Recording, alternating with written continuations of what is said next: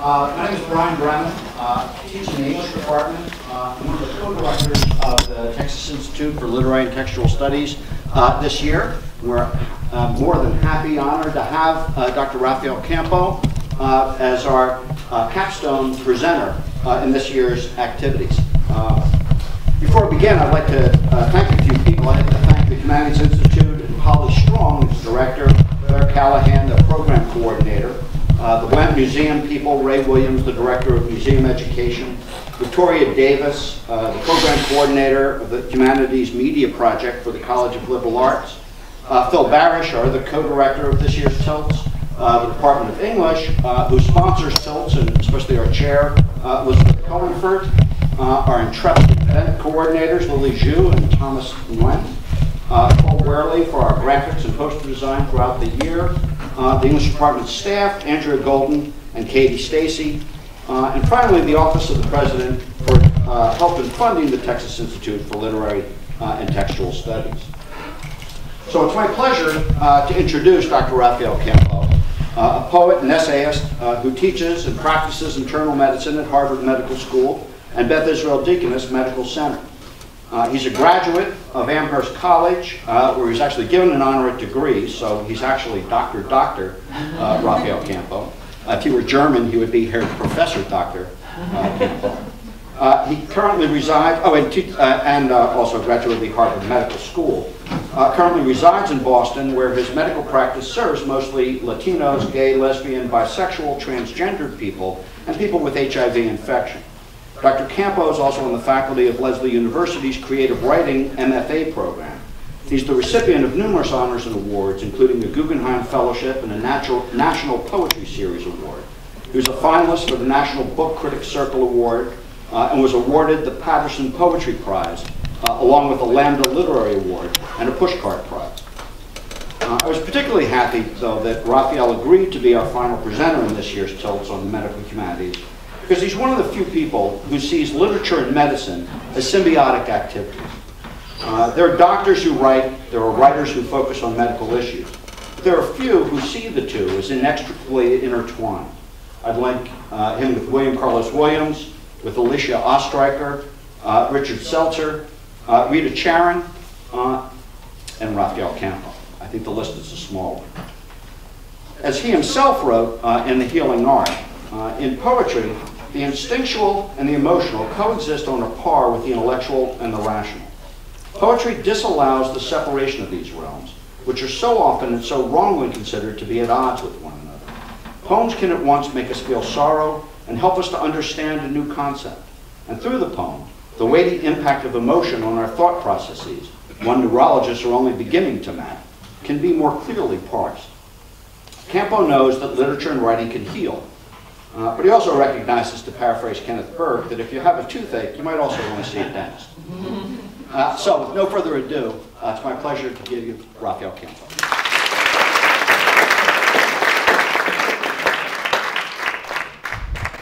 Well, thank you, Ryan, again, for such a generous introduction, and thank you for all coming to hear me this evening. Uh, I'm going to give a more formal uh, lecture this evening, but I will interweave some poems in, in what I have to share uh, with you tonight, and and to get us perhaps used to hearing poems, uh, and uh, maybe call us into community also, because I think that's one of the functions, another of the functions of, of poetry. Uh, I thought it would be a good place uh, to start with, with this particular poem called Arriving. We're newcomers to an old place. Oh, pardon me, I should. this is me, the technical. Here's my poem. Arriving. We're newcomers to an old place. The house was built in 1860, so we think. Since then, the Portuguese fishermen and the faded, artsy bohemians have come and started now to go, replaced by guppies driving Lexuses.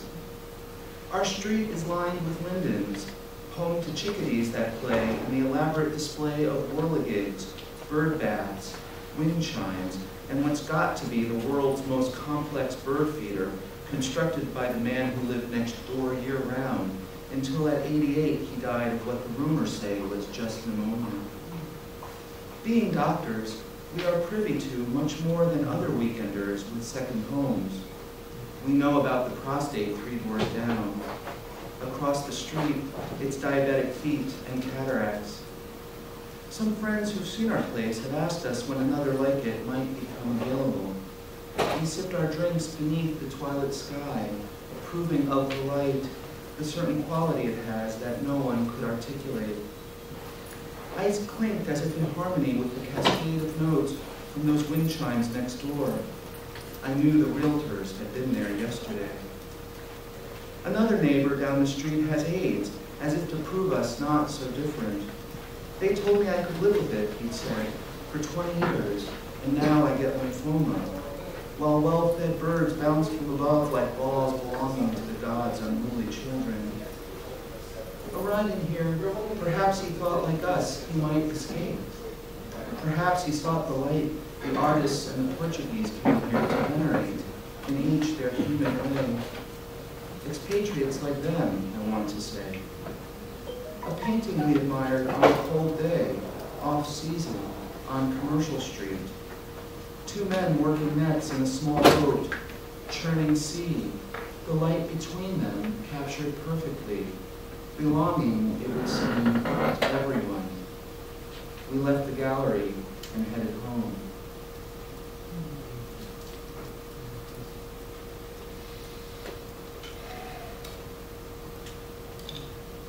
It's not unusual, after I've given a poetry reading, for some impossibly young writer from the audience to remark over the post-literary pretzels and Diet Coke, wow, your stuff is really depressing. One especially unkind reviewer of my books proclaimed, in a similar but perhaps more impatiently dire vein, bad things happen in Rafael Campo's poems. Coming from a fellow poet, and none of us are generally associated with boundless joy or even middling cheerfulness. His indictment seemed inordinately cruel. Even my devoted spouse counsels me, after reading my latest villanelle about botulism or ode to schizophrenia, honey, maybe you should think about lightening things up a bit.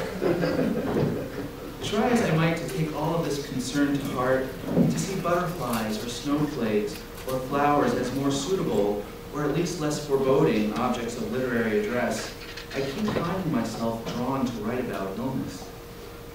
Like anyone, I cringe at the kind of person who slows down his car at the sight of a roadside accident, craning his neck in the hopes of glimpsing some awful carnage. I fret at television shows like House and Grey's Anatomy for making sometimes a ludicrous spectacle. I can't stand it when innocent family members solicit advice about their hypertension or high cholesterol because it seems to me there is so much in the world that is more interesting to discuss. I grew impatient even with my endearing grandmother when she was still alive and would ask me advice about her blood sugar.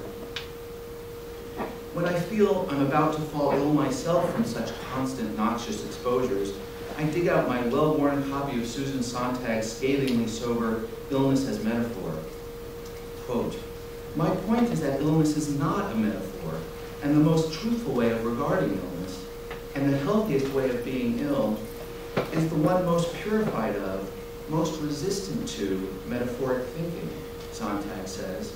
And I think, take that, Sharon Olds. the romantic view is that illness exacerbates consciousness, she goes on to say. And I crow, take that, Franz Wright. What a relief it is to understand illness for what it really is, matter-of-fact pathophysiology, a boring, unpleasant, and decidedly non-revelatory experience. Illness is a problem for the human imagination only in so much as we might seek dispassionately scientific methods to cure it, while we avoid the inevitably destructive pressures it exerts on our fragile psyches. Of course, the next morning always comes and I find myself in my clinic again, the exam room speaking aloud in all its blatant metaphors, the huge clock above where my patients sit, implacably measuring lifetimes, the space itself narrow and compressed as a sonnet, and immediately I'm back to thinking about writing. So enough, my patients start to arrive, and the way they want me to understand what they are feeling only immerses me more deeply in language's compelling alchemy. The pain is like a cold, bitter wind blowing through my womb, murmurs a young, fertile woman from Guatemala with what I, what I have diagnosed much less eloquently as chronic pelvic pain. Please, doctor, can you heal me? I regard her from across the desk and feel grateful for the computer terminal more immediately in front of me, which allows me to type a little medical jargon into my note before having to actually speak to her. Send her for an exploratory laparoscopy, growls Sontag in the back of my mind, but she's already had that procedure, along with several ultrasounds and pap smears, innumerable blood and urine tests, a hysterosalpingogram, a colonoscopy, and a trial, ironically, of birth control pills. We have had this conversation before, which I realize is another way of saying we are together part of a narrative, a story. A story in which irony matters, in which understanding metaphor. Might her pain be a wordless expression of her deep sadness at her inability to have a child?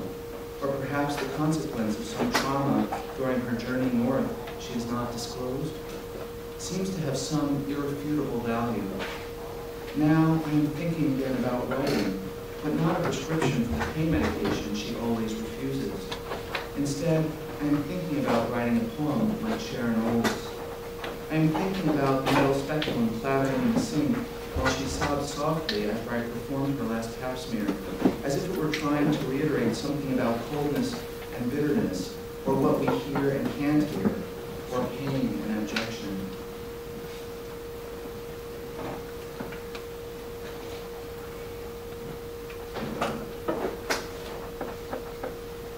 This is a poem I wrote actually after seeing a patient, uh, like the one I just described.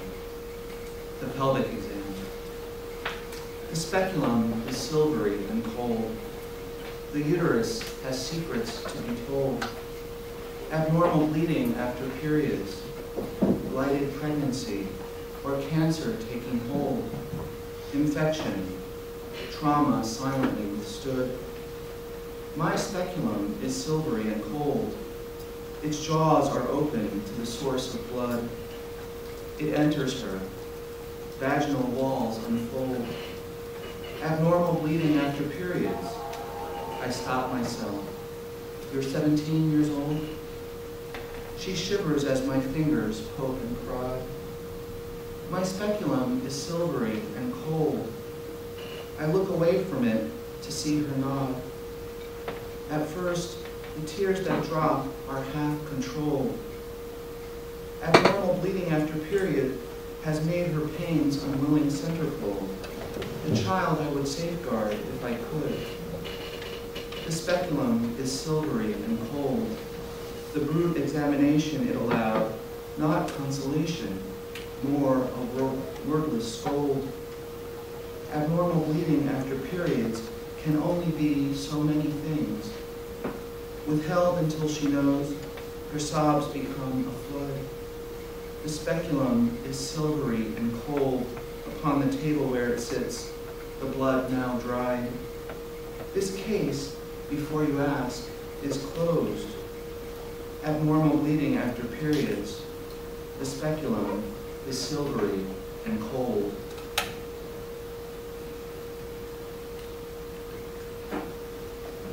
Perhaps something about this young woman reminds me of my grandmother, herself an incurable and incurably hopeful immigrant, which only amplifies my narrative impulse. After all, it was my grandmother who first inspired in me a love of stories.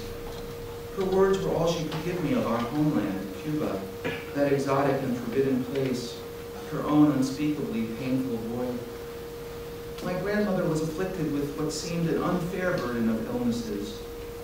Her treatments for her ailments seemed just as varied as the ailments themselves.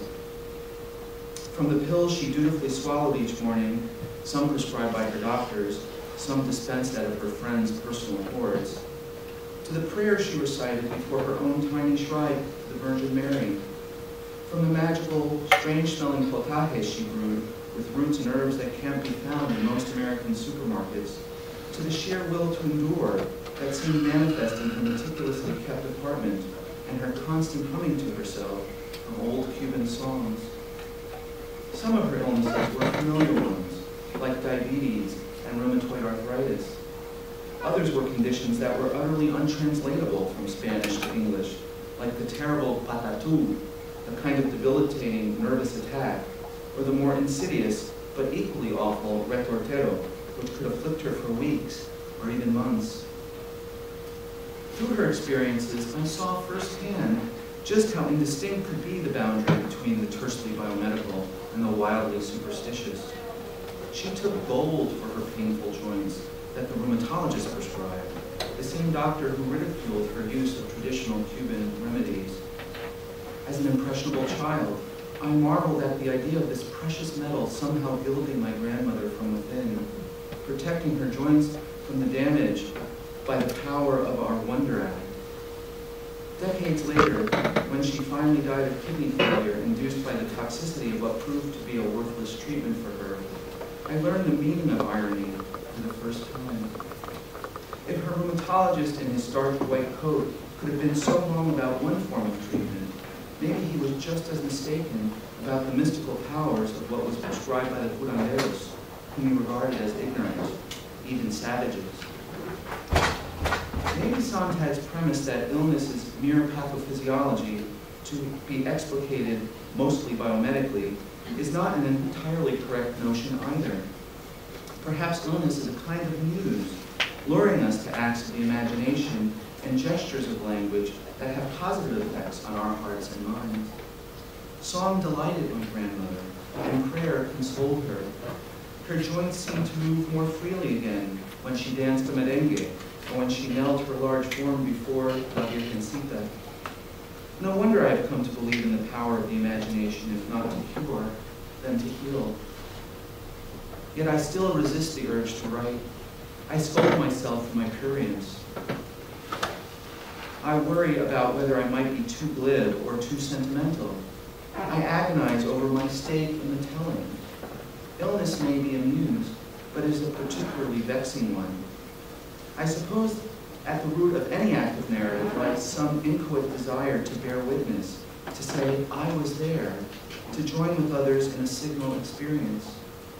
When that signal experience is illness, this empathetic impulse seems all the more overpowering, as if some deep survival instinct were triggered, as if we might share in the discovery of some profound knowledge we need to live.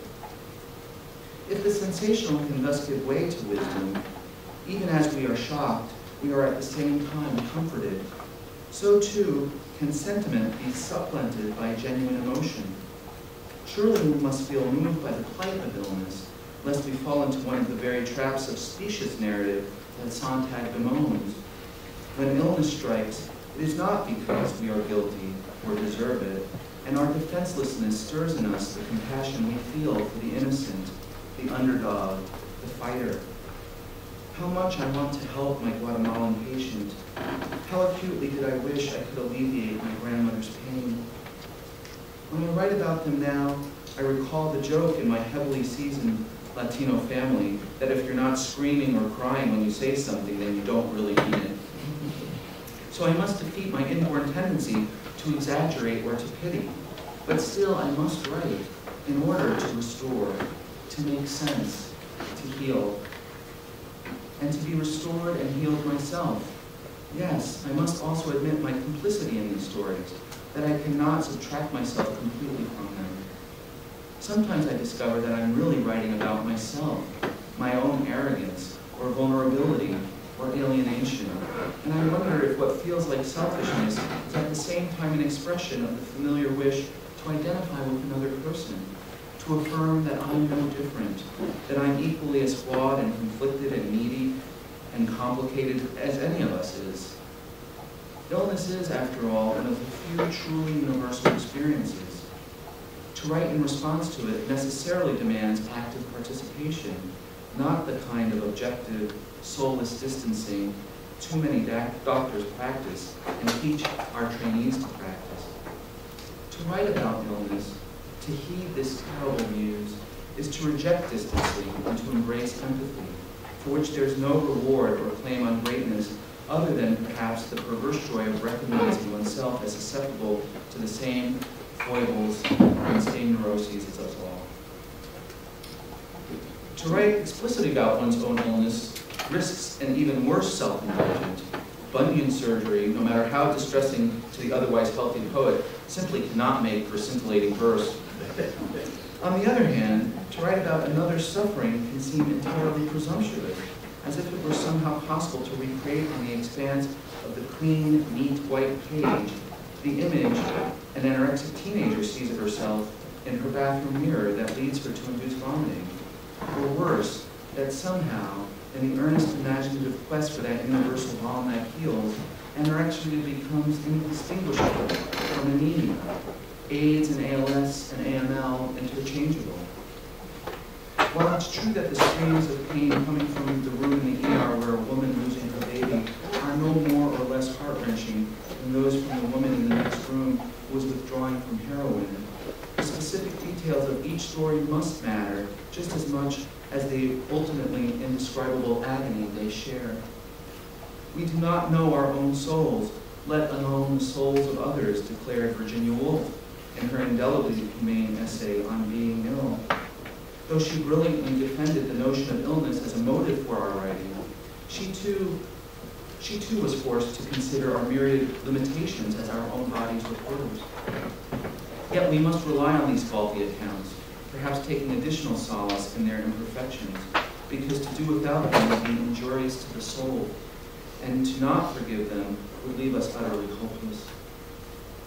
The true cynic who exceeds Sontag in her disdain for our silly superstitions and inane hopes will complain that, regardless of who gets to tell the story of illness, the patient still feels like crap and wants to be either cured or healed, whichever will bring relief soonest, and, in these days of limited resources, for the cheapest price. Meaning for him equals results, plain and simple. Illness isn't a fanciful narrative to him, nor is it the intellectual intrigue of biology gone awry. It is merely some skilled technician's job to fix before moving on to the next illness, a transaction about, about which no one need care, an occasion for money to change hands for services rendered as efficiently as possible. Stendhal and Sontag, Olds and Woolf mean next to nothing to him, and even less so as the surgeon stands poised to make his first cut, or as the oncologist starts the chemotherapy drip. He refuses to consider that even in the immediacy of some critical therapeutic act, he is hemorrhaging his unspoken words. By summarily stapling shut his figurative wounds, he is compromising perhaps his best chance at survival by denying himself access to all the possible modalities by which the healer might intervene. Hmm. I wanted to read this poem, which I wrote in response to one of my colleagues, uh, um, actually on the admissions committee, who said, you know, all this stuff about stories that you go on and on about, you know, doctors really just know, need to know their shit. So I thought about that and resonated also with actually sometimes what uh, some, some patients seek from us. They just want us to, to be competent technicians. So, so I wanted to write a kind of response to that, to, to interrogate it.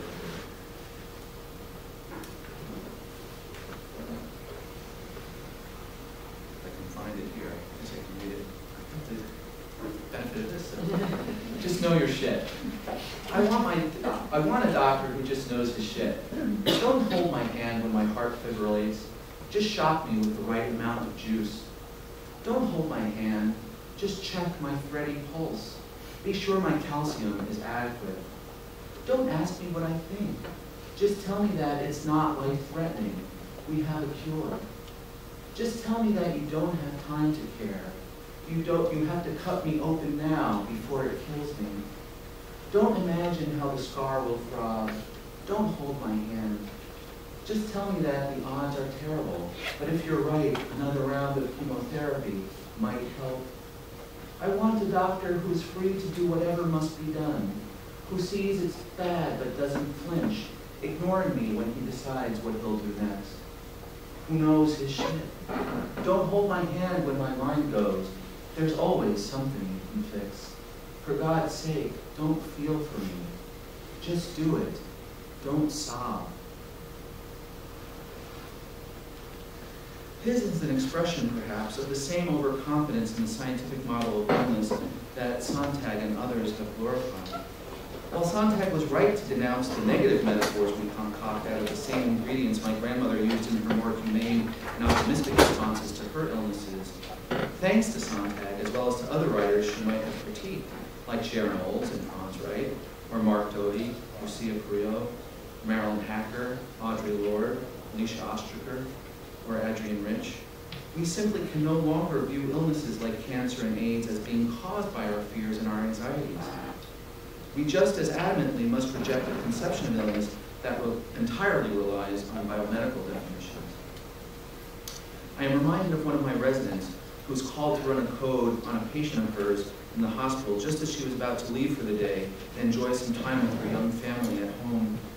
She had followed all the biomedical protocols and algorithms perfectly, barking orders to the nurses and interns with all the confidence she could muster. However, like most end-of-life interventions in the hospital, this one too proved futile and the patient died. It was only weeks later when she had the chance to write about the experience in a poem she created for a reflective writing group that is now part of the residency curriculum in our hospital. Did she feel she could do justice to the entire experience, aspects of which she purposely had shut out of the bedside in the perceived acuity of the situation? Perhaps most salient of all, she had sacrificed to the biomedical exigencies of the moment was the tuning out of the family who were present in the room. She wished she hadn't ignored them, but instead had allowed them to stop her before a full 30 minutes had passed, when it was already amply clear to them that their mother was dead.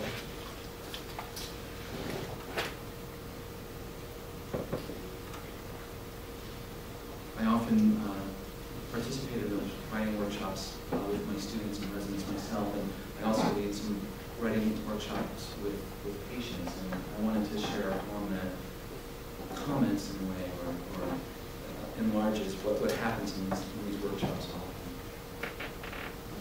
Hospital writing workshop.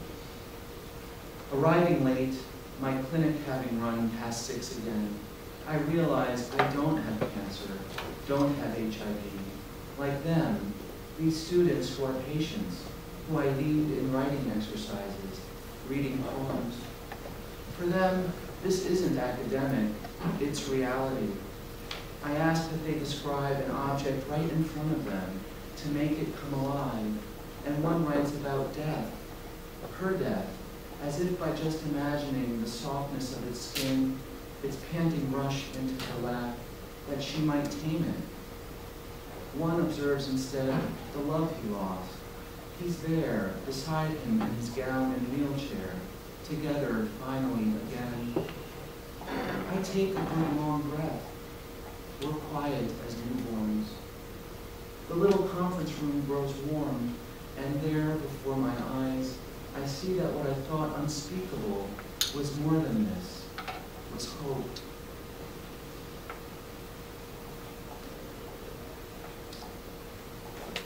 It is precisely situations like these that have so long been cited by medical educators as a primary reason for teaching distancing to medical trainees.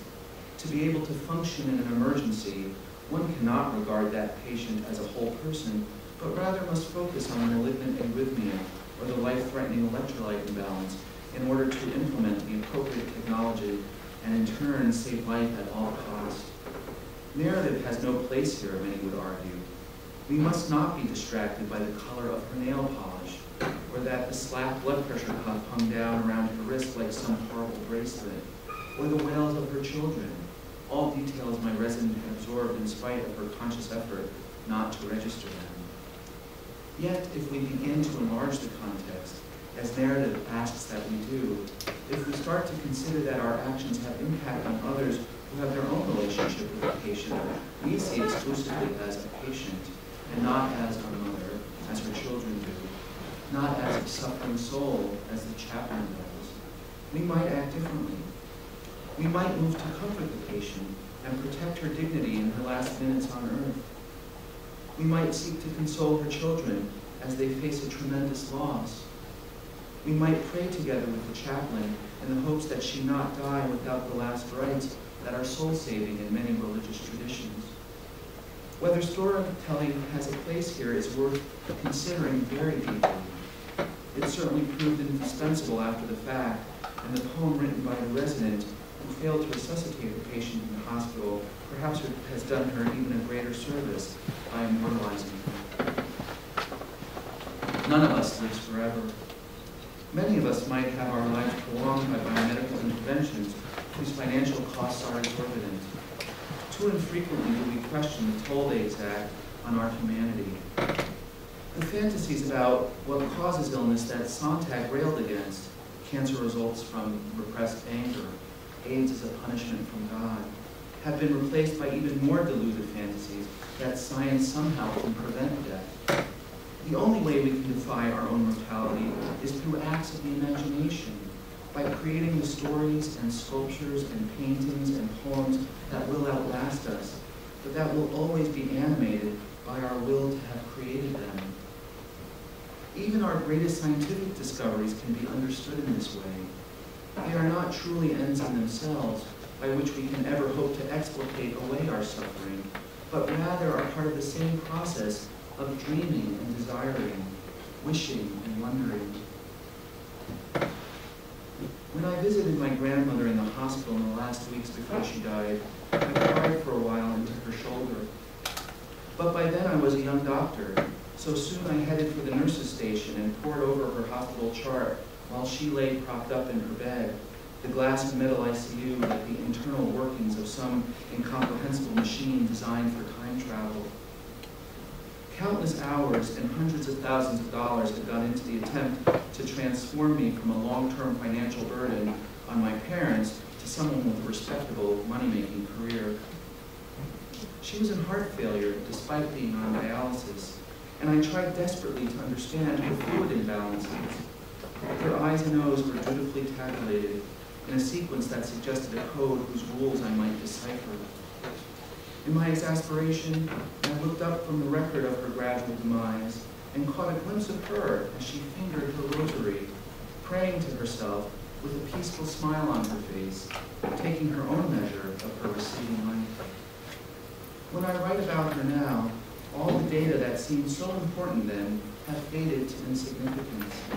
But it is that one cherished detail in my memory, this one little story, that always makes her come alive to me again. I want to conclude with one last poem, and then I hope we'll have uh, conversation. I'd love to hear your questions. Uh, but before I close, I want to thank you all again for your attention.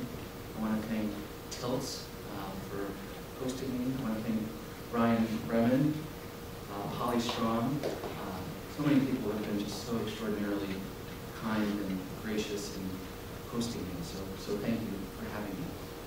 Uh, so this is a, a last poem. Oh, I What I would give. What I would like to give them for a change is not the usual prescription with its hubris of the power to restore, to cure. What I would like to give them ill from not enough of lying in the sun, not caring what the onlookers might think while feeding some banana to their dogs. What I would like to offer them is this, not reassurance that their lungs sound fine, or that the mole they've noticed change is not a melanoma, but instead of fear transfigured by some doctorly advice, I'd like to give them my astonishment at sudden rainfall, like the whole world weeping, and how ridiculously gently it slipped down my hair. I'd like to give them that, or the joy I felt while staring in your eyes as you learned epidemiology, the science of disease and populations, the night around our bed, like timelessness, like comfort, like what I would give to them. Thank you very much.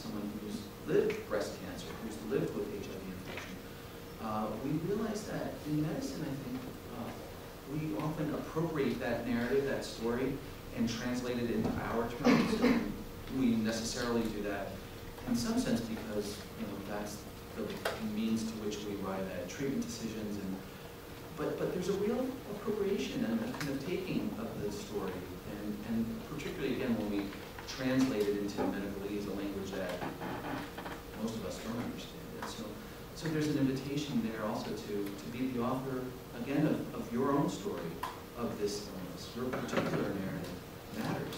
And I think just the gesture of, of sharing sends that message, says, I, I, I want to know your story. I want to know how you're experiencing uh, these symptoms. I want to I want to be present for that.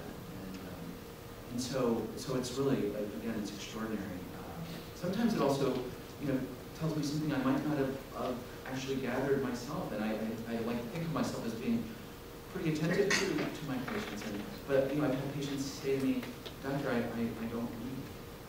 So I learn about literacy. I learn about what they, what kinds of sources of information they, they might be able to access about their illnesses. So, so it has a kind of practical uh, utility as well. But, um, but I think most importantly, it has, uh, again, a, a, a, just this tremendously deepening effect on, on our relationships. Yes? Well, thank you so much. Well, that was uh, as my friend Craig said, a lovely way to end the week. Um, so uh, I'm really touched by the um, the impression of humility that I get from both your practice as a poet and what you had to say about your practice as a doctor. And I'm uh, I'm thinking of something you said at the reading at noon, where you said, you know, I spend a lot of time thinking about the right line break, and. Um, and that you seem to also approach what you can offer patients in terms of medical knowledge um, with a sense of, you know, let's try this, let's try that, you know, and um, and that that sense of um, being in relationship with them and and taking seriously how they respond to the various things you have to offer um, is part of that therapeutic alliance.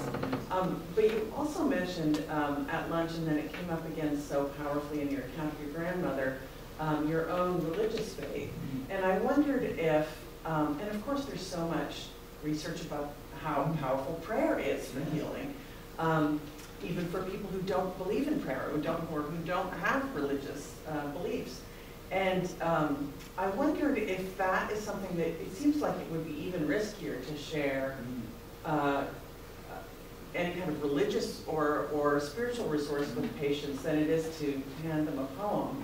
Um, I mean, riskier in the sense of uh, appearing to um, step outside of what's appropriate to the doctor-patient relationship. But I wonder if that was part of what you offered sometimes. Oh, yes, absolutely, and, and you know, the way I try to approach it, because it is, I think we do have to be very, very mindful of not imposing uh, any particular view or, or stance in relation to uh, how to manage uh, an illness experience uh, that comes unilaterally from, from, from my perspective.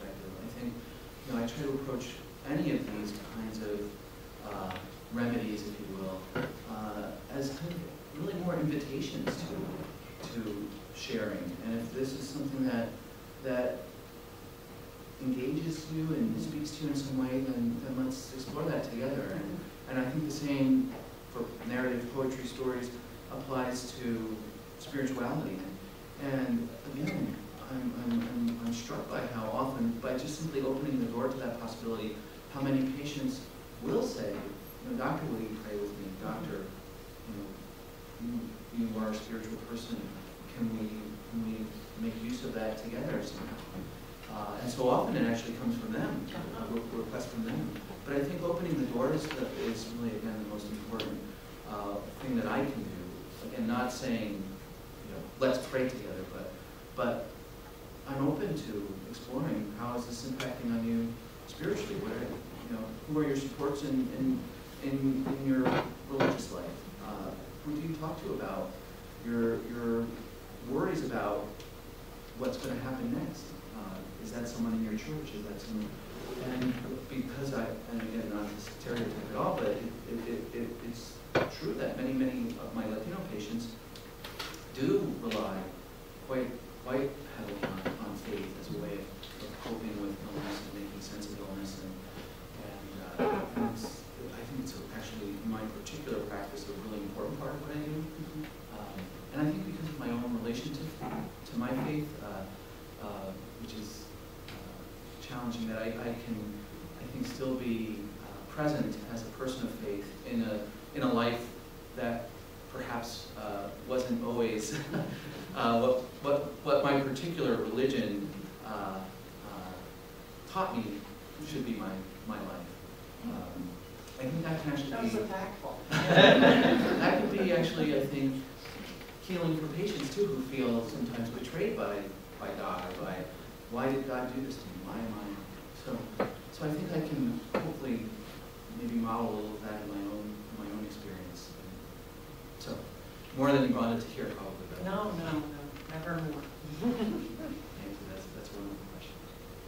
Uh, yes? Hi. Um, Thank you again so much for such a beautiful talk. Um, uh, Earlier you said, and you read, um, if not, if not to cure, then to heal.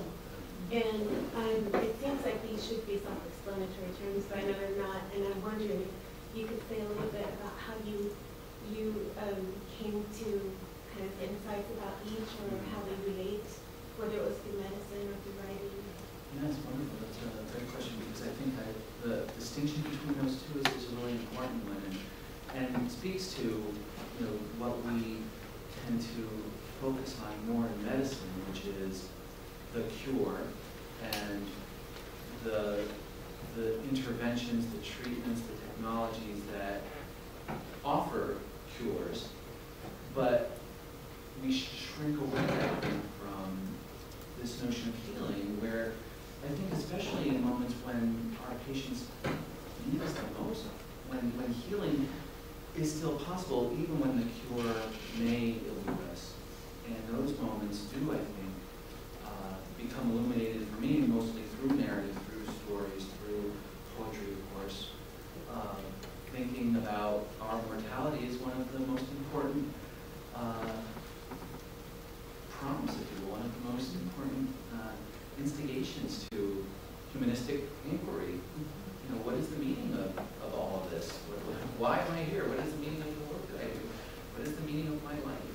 What happens next um, when I'm dying? And so, so to me, I, I, you know, having been educated in, in, a, in a spiritual uh, context and certainly in, in later my education education and liberal arts college, you know, thinking about those kinds of issues through the lens of, of the humanities uh, seems, you know, the, the, that's the place I, I naturally turn to, to examine those kinds of questions. And again, I think we can be healed, even when we're not going to cure cancer, even when the scan shows, you know, it's, cancer is metastatic and we don't have treatment for this. But we still have a role in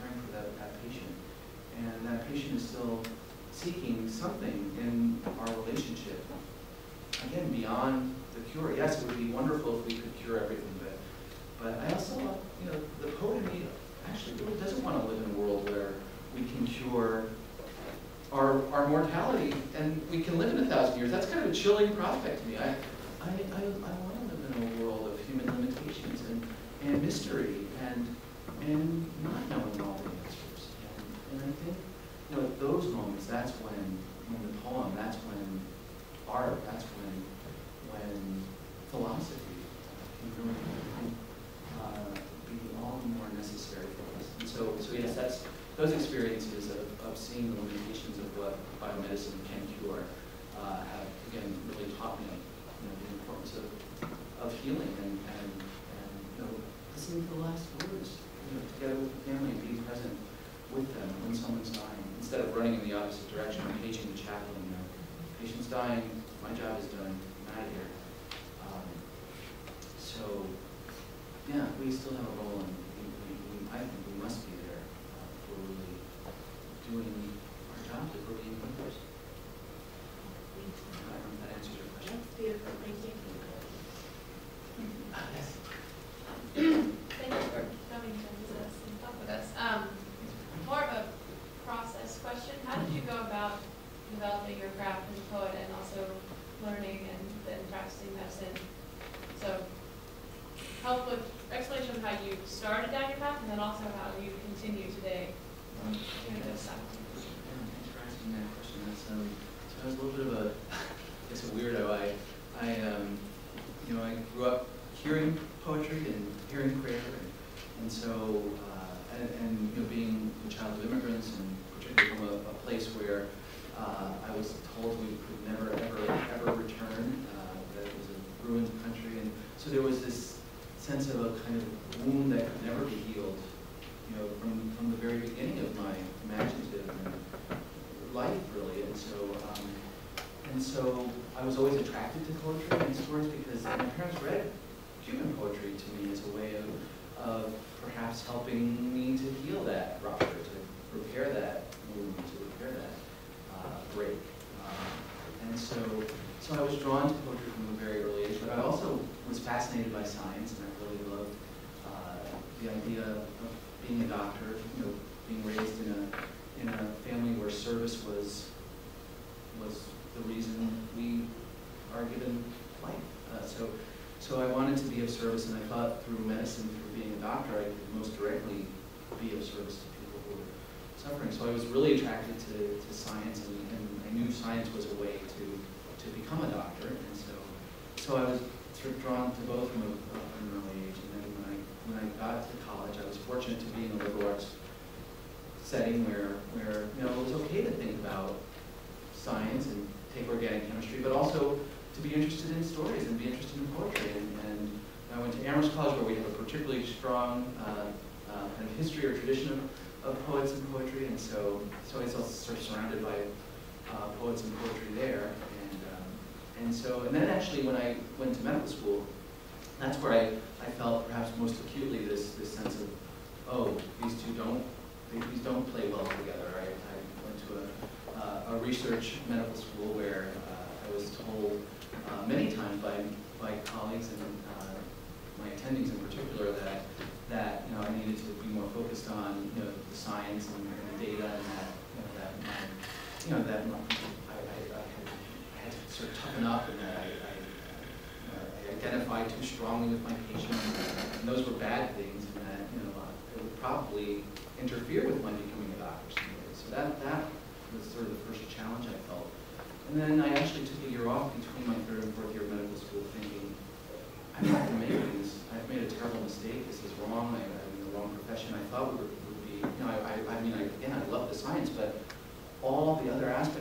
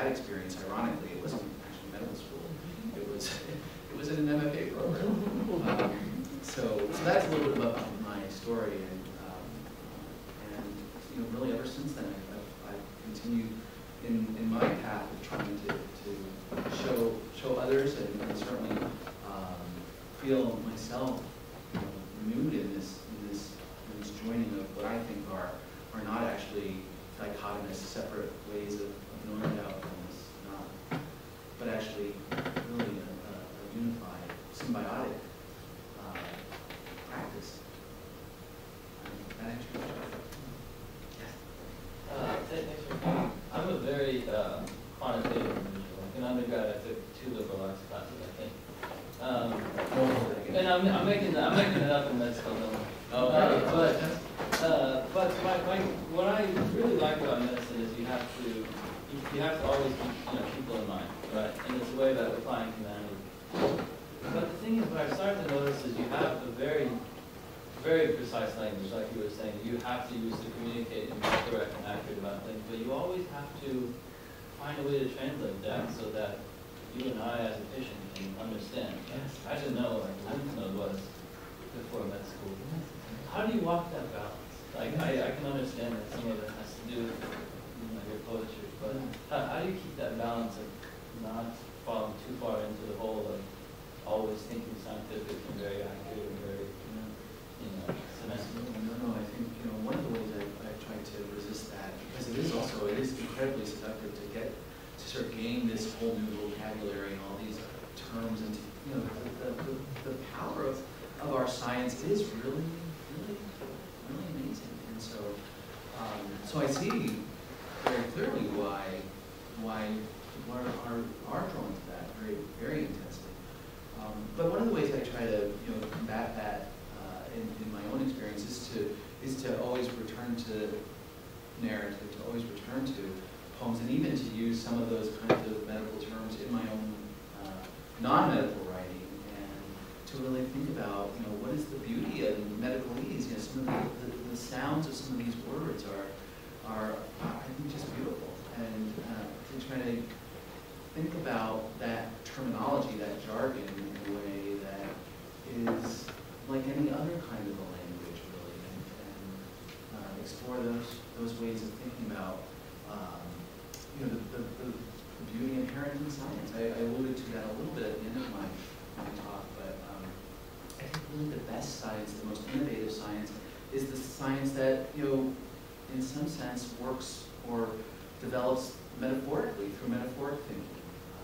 Um, the, the, the famous chemist who, who, who imagined or, or postulated the structure of benzene had a dream about, you know, snakes swallowing, you know, their, their own tails, and, and from that metaphor, he, he came up with the structure of, of, of benzene, which has been a mystery for, for, for decades, um, so, for longer than decades.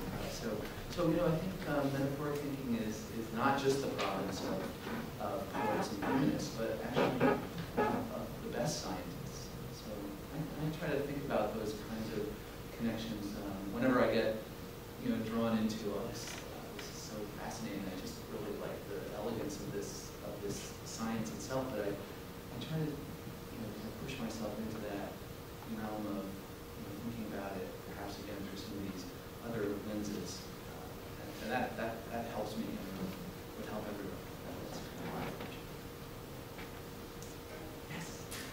Um, so at the reading earlier today, uh, you read your poem, Ten Patients and Another, which is one that I love a lot and teach mm-hmm. often.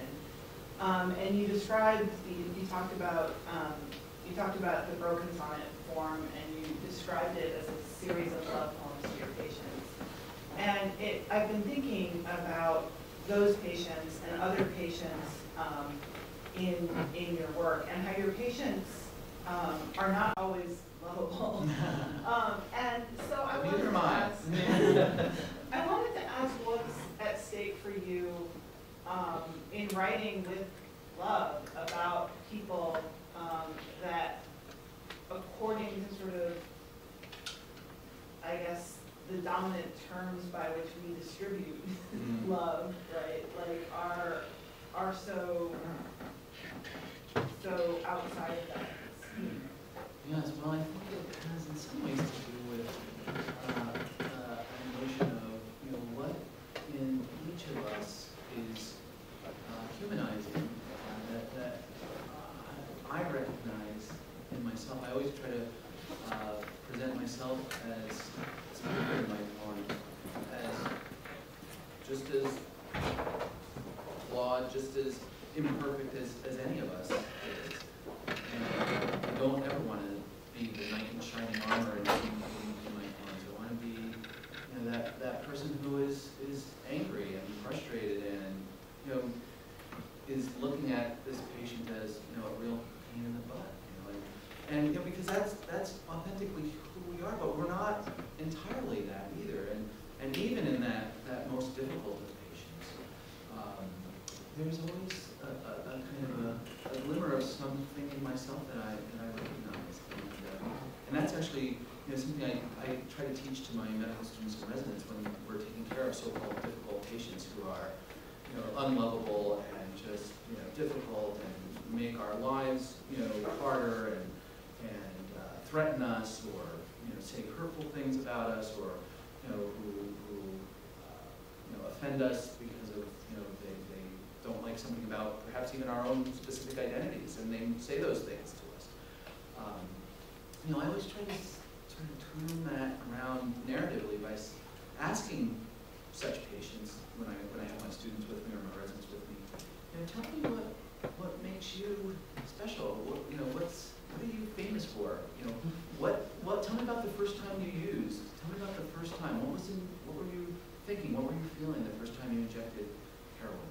Tell me about that, what was that like?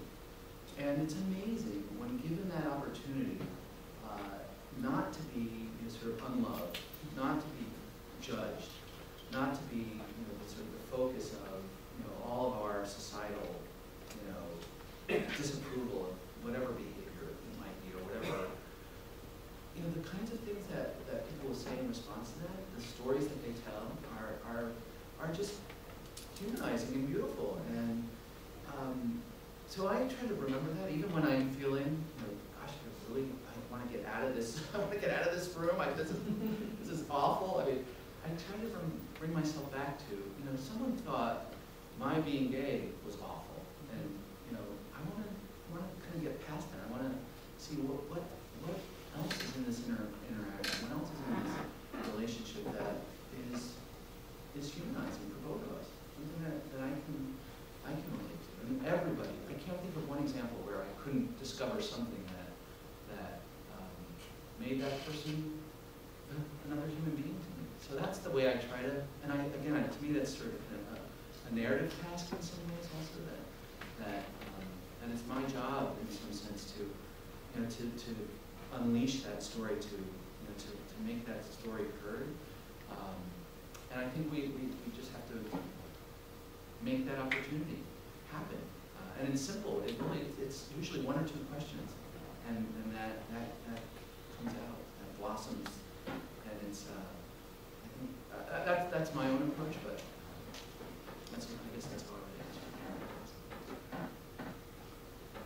Yes?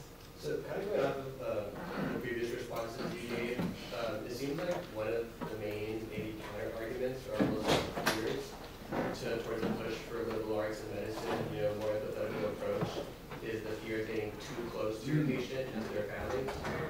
Um, so I guess, you know, you mentioned about maybe prescribing poetry, and maybe prescribing even some prayer or reflection as like a healing kind of or the like therapy or something. Um, you know, if like a patient's maybe prognosis goes awry, or like maybe a patient dies and their families have now maybe this spiritual connection to you in a way, as kind of like opposed to just a strict by science connection to you. Um, do you ever think that could be a little risky, or do you ever kind of like um, get scared of maybe like backlash from the family because you guys so involved? Spiritual sense in any way? Or like, what do you, what do you think about that? Yeah, I do think in some ways it's risky, but I think, you know, that what we typically do in medicine by distancing ourselves so, so far from, from our patients' experiences is actually much more dangerous and much, much riskier. Uh, because if we're not able to be present with our patients and when something does go wrong, if we're not able to, to apologize, if we're not able to acknowledge, I made a mistake. And I, you know, I'm a, like you, I'm a human being. I'm not, I'm not perfect. I'm not, you know, this white coat doesn't, I'm not a robot. I'm not a, you know, uh, I think I actually, uh, in some ways, uh, lower the risk of that kind of anger, that kind of uh, backlash, that kind of, you know, medical legal reaction to something going wrong uh, by presenting myself as, again, I'm, I'm, I'm with you in this experience. Um, I'm not calling the shots. I'm not directing everything. We're, we're in this together. Um, and again, I think you know this notion of you know detached concern and you know we are you know we to shield ourselves from the, the horrors, the indelicacies of, of human suffering because it, it, it might harm us. It might be you know might impair our judgment somehow. It might cloud our decision making. You know, we as I said in my in my remarks, you know that that um, you know patients having a, a, a life-threatening arrhythmia, this is not the time to be thinking about it. Well, yes, there are those those kinds of moments. You know, uh, what's, this, what's the arrhythmia? The, but but those moments are are really infrequent, actually. Thank goodness. Um, most of the time, it's interactions like what I described that my resident experienced, where some harm was actually done to that, that patient, and um, an opportunity again to heal in the intent to cure, with good intentions, I think, um, was missed. You know, a, it was actually, I think, harm done there. And not more harm even to, the, to that resident, because she, she had to live with herself after having been through that. And, and she really struggled. Thankfully, we had a space where she could, you know, make some kind of sense of it through narrating it. through but, uh, but yeah, so that distancing actually I think puts us, you know, in some ways really more uh, at risk, and, and we can do more harm now. So it, it is risky, and it's and it, it it's hard too. I mean, it's, it's not easy, but um, but it's I think preferable than than the alternative for sure. And I don't know how much. I have one more question. I, I don't know. I mean, I'm happy to keep Dr. going. Campo, Oh yes, good.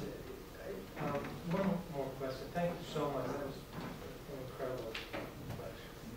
But, and I'm not sure this question is even answerable, but it seems to me that when you consider the, the history of medicine, in the not too distant future, physicians were healers. Up until the time of even cardiac bypass mm-hmm. surgery, first thing, that procedure was developed to relieve angina, to relieve suffering. It was not intended to prolong life. Mm-hmm. But we seem in, in our culture, in our medical culture, and in our societal culture, to have gotten off that track. And quality, the quality of one's life is no longer an imperative. It's all about prolongation of life and achieving immortality. And you read on the internet about how they think we'll be living to be 120 years of age in, in the next, you know, uh, there are these scientific predictions. What kind of, what got us off, what got us off that track, you know, onto this headstrong um, cure at all costs? Oh, what a great question. I wish I, I knew the, the answer to it. I, I can I can imagine together with, with all of you, you know, some of the reasons perhaps. Mean, I think, you know, the, the, the power of some of our technologies really is extraordinary now. And, you know, uh, I always, I, uh, apologies if some of you have heard this anecdote before, but, but I remember when I was uh, an intern uh, with um, uh, one of my attendings who uh, was in his uh, 80s and was taking care of his 90 and 100 year old patients in the hospital and would tell us stories about you know, the days before penicillin, the days before x-rays. He would get called and would go to someone's home and, and the patient would have pneumonia or a heart attack and he could, you know, make diagnoses to some extent, but treat them. And so he would always pose to us, uh, this question, well, what do you think, you know, what do you think I had to offer them?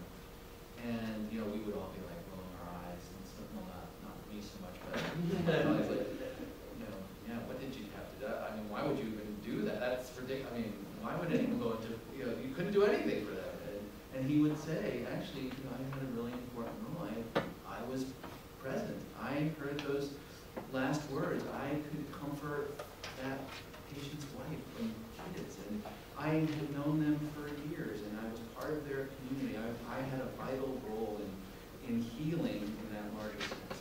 And so I do think that, you know, the emergence of these treatments has bred in us, I think, or, or engendered in us a, a, a kind of arrogance, a kind of hubris that these advances will just keep coming and, and yeah, I mean, we read all the time, you know, the next, you know, in some sense, overhyped report that, you know, we're going to be able to live to a thousand, not a hundred and twenty, but, you know, we can live for a thousand years. I was reading in the New Yorker not too long ago, that we're gonna look, you know, there's gonna be a God pill, and we're gonna, we're gonna just live forever. And it'll probably be the end of all of this.